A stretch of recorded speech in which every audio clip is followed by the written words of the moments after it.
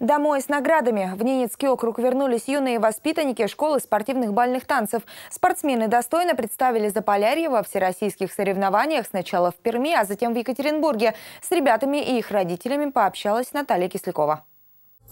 Елисей Локтев и Алиса Дуркина представляли Ненецкий округ на турнире Кубок созвездия в Перми. Ребята занимаются спортивными бальными танцами уже более шести лет. Правда, в паре друг с другом не так давно. Однако это не мешает показывать отличные результаты. Так, мы стояли в паре всего два месяца. Нам было тяжело все-таки сначала друг к другу привыкнуть. Но до первых соревнований второе место тоже очень хорошо. Вот у меня друг ходил, и я увидел, как он танцует, я тоже захотел, вот я до сих пор занимаюсь. Меня отправили родители сюда. Да. И как раз потянули за собой его друга. Вот так. Алиса танцевала еще в садике, поэтому выбор родителей, куда отдать дочь, был очевидным. Зоя Дуркина, мама девочки, признается, сложно было сделать выбор в плане танцевального направления. Ну, наверное, все-таки это нереализованная мечта родителей. Всегда родители э, дают предпочтение тем видам, которые когда-то сами хотели бы заниматься или занимались. Поэтому выбор был именно сюда. А, связано с тем, что все-таки э, хорошая физическая подготовка, а, плюс осанка, умение держаться на сцене, на публике. То есть много причин было, по которым выбрали именно это направление. Но то, что танцы, это было однозначно. Вот по выбору танцев выбрали этот вид. Еще одна очаровательная пара – Юля Маркова и Никита Соловицкий. Спортсмены достойно выступили в Екатеринбурге в турнире по латиноамериканской танцевальной программе. Ребята привезли на родину второе место в возрастной категории 6-7 лет.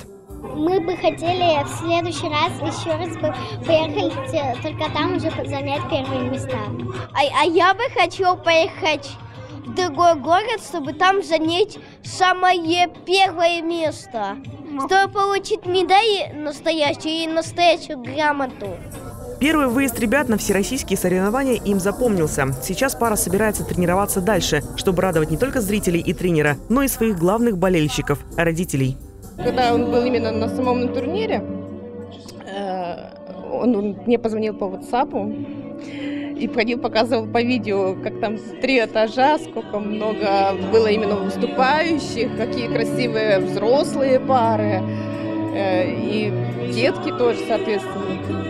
Я их не исключаю. Эта поездка изменила ребенка, я могу сказать, на сто процентов, потому что он стал более ответственным, выбирать слова. Бальные танцы – полноценный вид спорта. Он требует невероятной выносливости, силы, физической активности и полной самоотдачи для достижения результатов.